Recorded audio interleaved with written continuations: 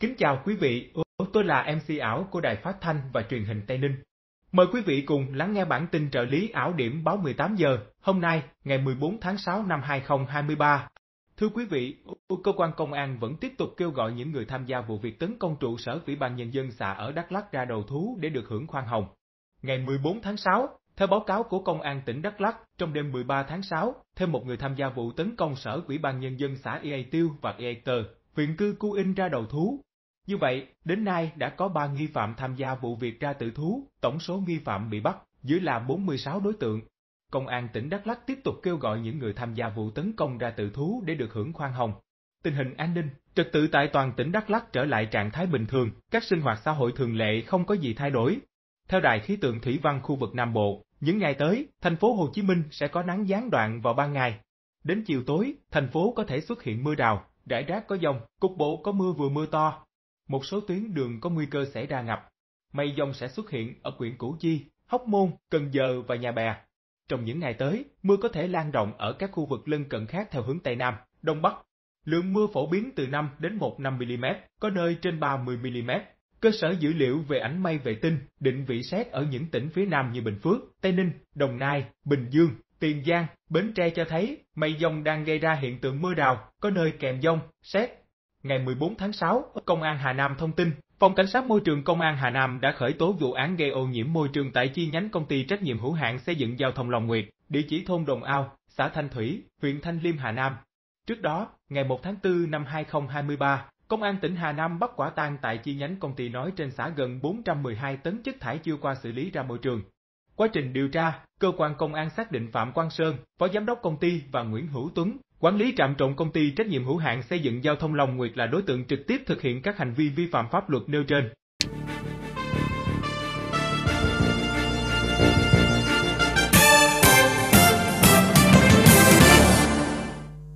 Tin thế giới theo gia cướp gia Novsky của trang tình báo nguồn mở mang tên Norris, Hà Lan, một tổ chức đã tổng hợp các bằng chứng trực quan về thiệt hại thiết bị quân sự tại Ukraine kể từ ngày 24 tháng 2 năm 2022.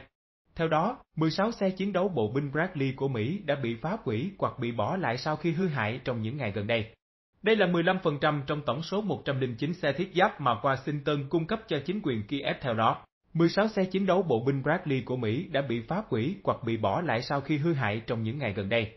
Những chiếc xe chiến đấu Bradley sử dụng bánh xích thay vì bánh xe thông thường, có thể vận chuyển 10 binh lính và được sử dụng nhằm đưa binh lính tới vùng chiến sự và đồng thời cung cấp quả lực hỗ trợ.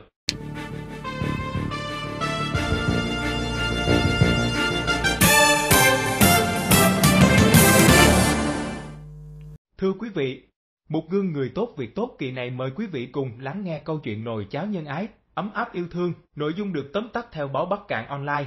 Nhiều tháng nay, cứ vào sáng thứ bảy hàng tuần, những người bệnh đang điều trị nội trú tại Bệnh viện Đa khoa tỉnh Bắc Cạn lại được đón nhận những phần cháo dinh dưỡng thơm ngon từ nhóm nồi cháo nhân ái Bắc Cạn.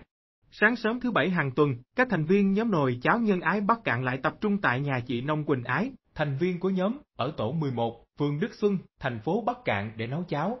Mỗi người một việc, người gọt bí, người vo gạo, ai cũng cố gắng hoàn thành tốt công việc của mình, khi cháo chín, các thành viên cùng nhau di chuyển đến điểm phát cháo đã được đăng ký với Bệnh viện Đa khoa tỉnh. Chị Hoàng Thị Ngân, trưởng nhóm nồi cháo nhân ái cho biết, đến thời điểm này đã có hơn 60 thành viên tham gia đóng góp công sức, vật chất, kinh phí để triển khai thực hiện nồi cháo.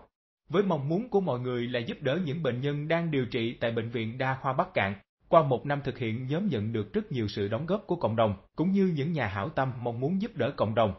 Trong thời gian tới, để giúp cho nồi cháo duy trì và giúp đỡ được nhiều người bệnh hơn, nhóm mong tiếp tục được sự đồng hành của các nhà hảo tâm. Việc làm nhỏ, ý nghĩa lớn của nhóm nồi cháo nhân ái Bắc Cạn đã lan tỏa tinh thần sống để sẻ chia đến cộng đồng, góp phần tạo nên giá trị nhân đạo, nhân văn sâu sắc.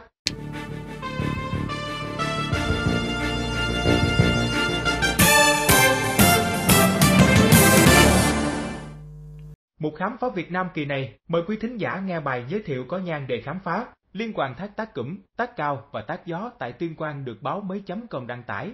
Thác bản 3 nằm bên triền núi Phiên Khang, thuộc xã Trung Hà, huyện Chiêm Hóa, cách thành phố Tuyên Quang 70 km. Thác bản 3 có 3 tầng thác lớn, cùng lúc đổ nước thẳng đứng từ độ cao hàng chục mét xuống lòng thác, và nhiều thác nhỏ xung quanh. Từ Chiêm Hóa, du khách đi khoảng 25 km xuyên qua khu rừng già là đến thác.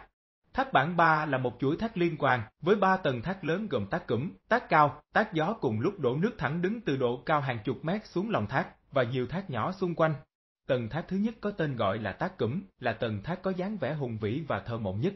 Chân thác là vực rồng, nơi có vách đá giống như hình rồng cuốn, có mạch nước ngầm phun ra giống hình tượng rồng phun nước. Những ngày nắng đẹp, hơi nước hòa với ánh sáng mặt trời tạo ra bảy sắc cầu vòng lung linh, kỳ ảo. Tầng thác thứ hai có tên gọi là thác cao hay thác cao, là tầng thác được chia làm hai nhánh đổ xuống trông như hai dải lụa trắng tung bay trong không gian giữa núi rừng. Dưới chân thác có một vực nước trong xanh có tên là vực quyên là nơi lý tưởng để du khách tắm, thư giãn. Tầng thác thứ ba là thác gió, chảy dọc theo những phiến đá vôi xuống vực sâu có tên gọi là vực linh.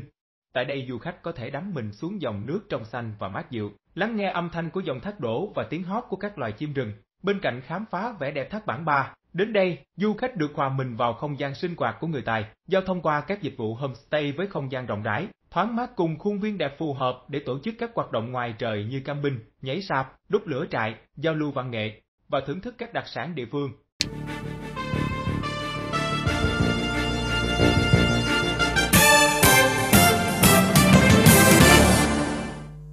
Thưa quý vị, phố cổ Ne Y Quan không phải địa điểm được nhiều du khách nước ngoài tìm đến khi du lịch Đài Loan. Nép mình sau những ngọn núi cao, ngôi làng là một trong những nơi hiếm hoi bảo tồn nét đẹp văn hóa từ món ăn đến biểu diễn truyền thống. Đặt chân tới Ne Y Quan cuối tuần, du khách có dịp tận hưởng giai điệu âm nhạc của các nghệ sĩ đường phố mang theo nhạc cụ biểu diễn khắp nơi. Khu phố gây ấn tượng với khung cảnh cổ kính, hai bên đường tràn ngập những gian hàng thủ công mỹ nghệ, quầy hàng ăn truyền thống bán thịt nướng, xúc xích tự làm, Giữa lòng Ne Iwan Quan có một nhà chiếu phim cũ cổ kính nơi du khách thưởng thức trà haka và các loại bánh đặc trưng. Buổi trưa, rạp chiếu những bộ phim cũ của Đài Loan, có xuất hiện những quạt cảnh quay ở Ne Iwan. Quan.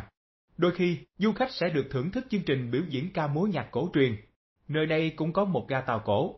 Bạn có thể mua một vé tới lớp Playa, khu vực nổi bật với các công trình nghệ thuật công cộng.